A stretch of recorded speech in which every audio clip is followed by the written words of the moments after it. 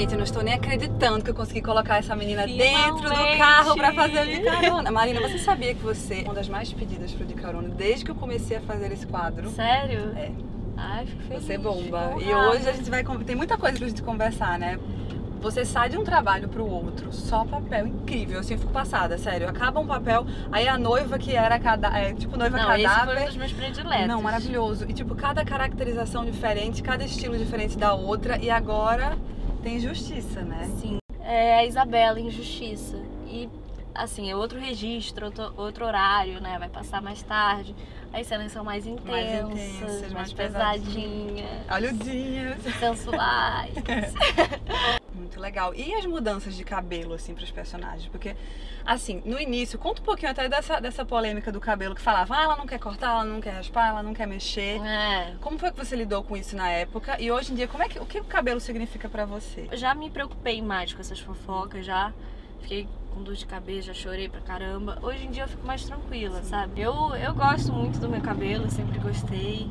É, sou ruiva natural. Ainda não pintei o cabelo pra um personagem. É, quase que eu pintei pra Mortiamo, Uhum.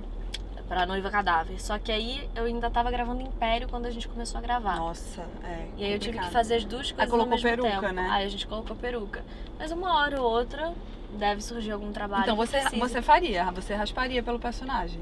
Eu acho que tudo depende, sabe, Uhum. Camila? Se o texto for bom, se a equipe que você está trabalhando é boa, Sim. se você vai, se você, se o que, que você vai trabalhar ali é uma coisa que, que faz sentido, que não é sensacionalista, se vai ter é, alguma alguma função também social, eu acho que tudo é relativo. Se valer a pena, eu acho que você pode fazer tudo por um personagem, Eu acho mas tem que ser uma coisa bacana, tem que ser uma coisa legal. Sim. E eu já tô colocando o pé aqui, que eu já tirei. Não, a gente já tá super à vontade. Eu já tirei o salto. Olha o salto dela. Gente, tava com esse salto no evento. Há 5 Duas- horas. é. Sei quantas mil horas. Não, Não, dá. Eu já tirei, Tá já tô aqui vontade. livre, leve e solta. Como é que você cuida do cabelo?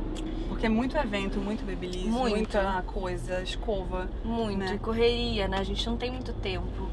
Então, eu, eu cortei agora, né, o cabelo, porque... Por causa de justiça, Uhum. que tava bem grande, como a Elisa. Mas eu procuro usar bons produtos em casa. Eu sempre ando com as ampolinhas também. Eu- é muito da, bom. da Pantene, ampolas de reparação. São ótimas. E em três minutinhos o cabelo volta com brilho incrível. E é isso, porque agora, depois dessa- que eu terminar de gravar a série, eu vou deixar o cabelo crescer de novo, né?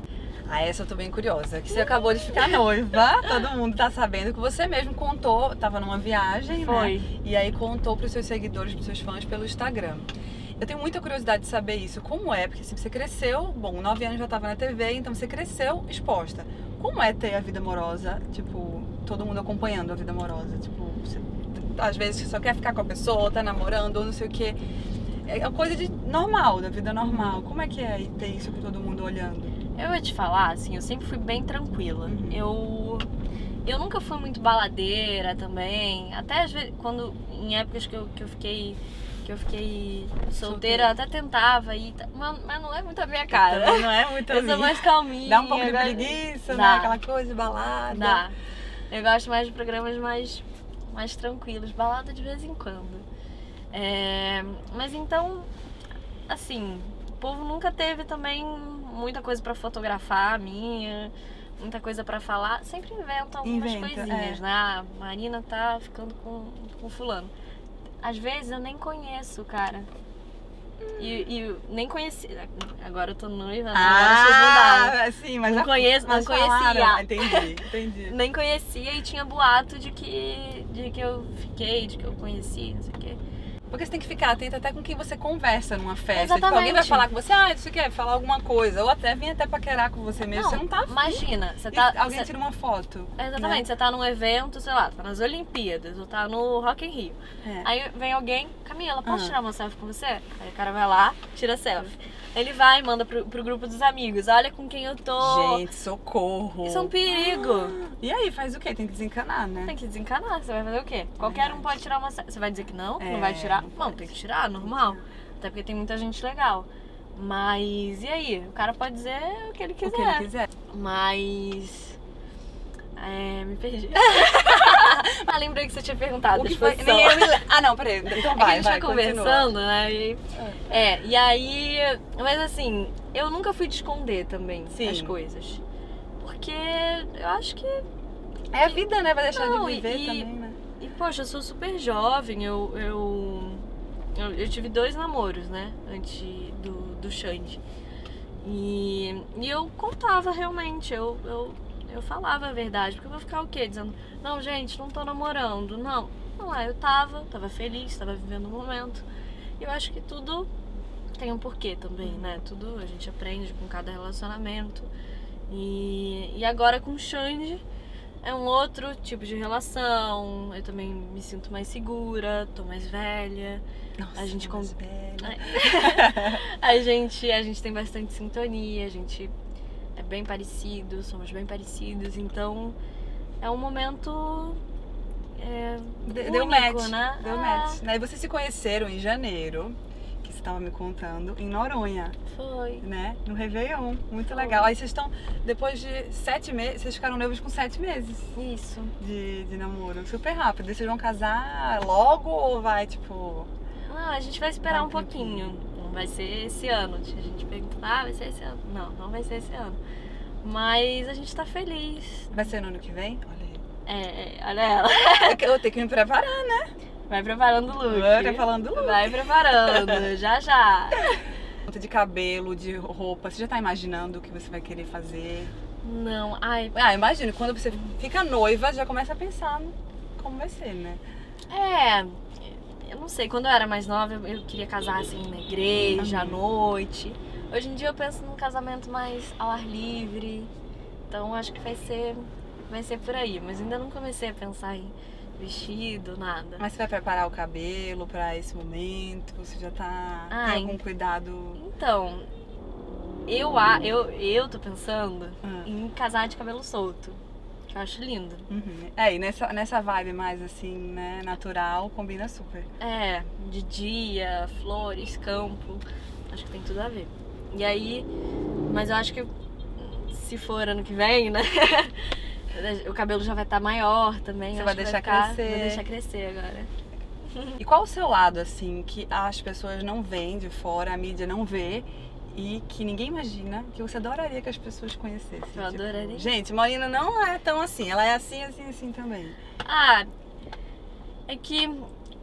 Bom, Bom, bom. Acho que as pessoas têm uma imagem. Eu não sei, eu acho que as pessoas têm uma imagem minha. Ah, patricinha, é, muito certinha, nanana. Mas eu. Eu, quando eu tô com as minhas amigas, quando eu tô em festa, eu me solto. Você amo curte? dançar funk, gente. Eu amo. eu vi um vídeo maravilhoso seu fazendo aula de dança, dançando funk. Baile de favela. Maravilhoso. Eu adoro, eu adoro, me jogo no funk. E eu também sou fã de sertanejo. Inclusive, vou contar um negócio pra vocês. Conta. Inclusive, uma das coisas que, que eu achei mais incrível quando eu conheci o Xande, que a gente conversando e tal, aí ele, me falou que ele gostava de sertanejo. Eu falei, o que? Você gosta de sertanejo? Ele é. Ele, você também gosta de sertanejo?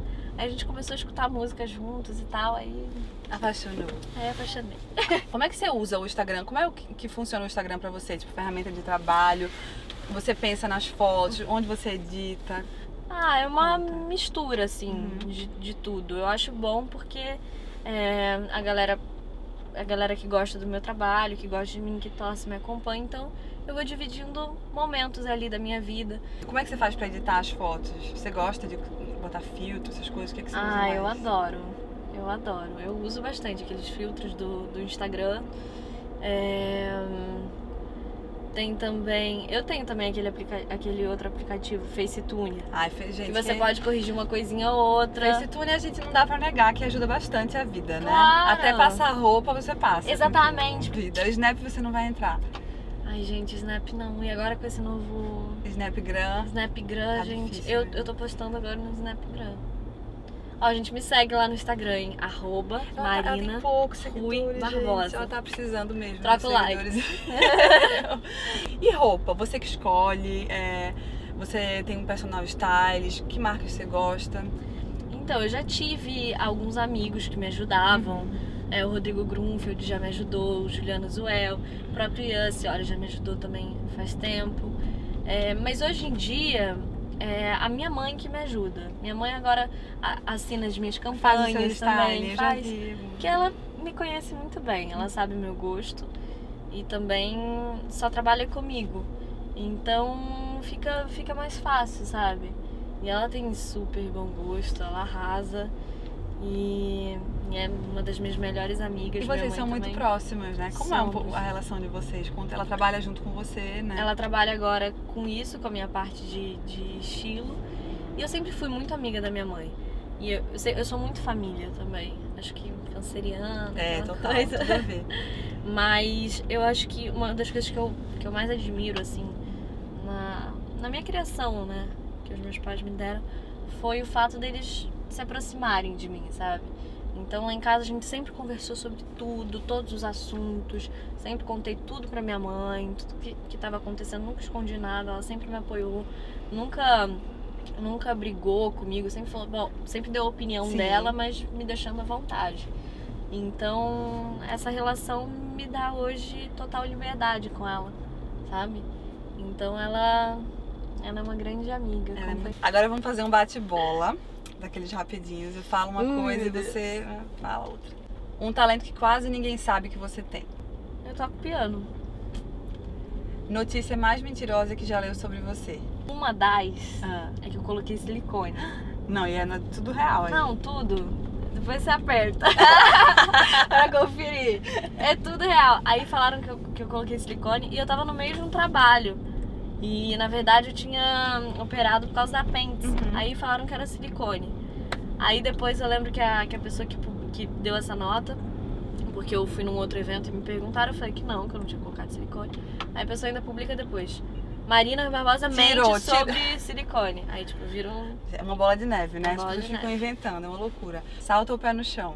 Salto. Não vou nem, não vou nem deixar você responder. Depois Ai, depende, depende. Pra trabalho, pra evento festa, saltão. Saltão. Agora, dia de folga, uma pantufinha, hum, Sucesso. pipoca, calça de moletom. Perfeito. Item de beleza indispensável. Hum, ampola pro cabelo. Foto que mais bomba no Insta, no seu Insta. É, o pessoal gosta de selfie. Selfie. né? Peça E foto em favorita. viagem também. Ah, e foto em viagem. Você arrasa nas fotos, por sinal. Eu, eu adoro tirar, tirar foto em viagem, porque parece que o pessoal tá viajando comigo, sabe? Verdade. Eles- Peça favorita do guarda-roupa no momento. Peça favorita? Hum, eu acho que jeans.